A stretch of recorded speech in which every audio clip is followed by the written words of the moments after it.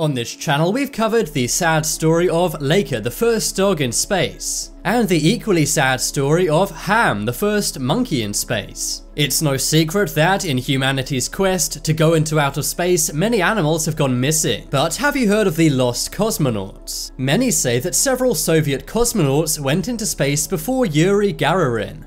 Yuri Gagarin was supposedly the first man in space, but some doubt this.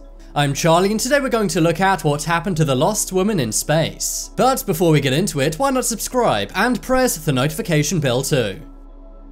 The space race was filled with scandals. For example, the USA recruited many Nazi scientists to get them to the moon. And there's also various scandals on the other side of the space race, the Soviet Union. One such Soviet space mystery was discovered by two Italian brothers, Achille and Giovanni Battista. These Italian brothers operated radios which could reach signals in outer space. They did this for many years, not hearing anything too interesting. That was until November 1963 when they heard a very strange signal. The signal came directly from outer space. They were able to receive it and decode it. And when they did, they were stunned to hear the voice of a woman. The woman was very scared and in pain. She was on re-entry to Earth and she was crying out for help. Here is an audio clip of the actual signal they received.